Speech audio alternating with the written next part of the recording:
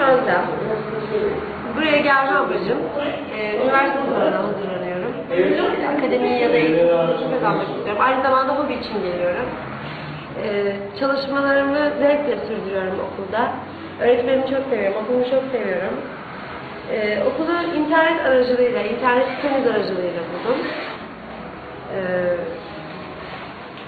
iyi ki buldum, çok mutluyum. Sürekli burada çalışacağım. Eğer okulumu kazanamazsam burada eğitimimi tamamlayıp diplomamı almak istiyorum. Teşekkür ederim.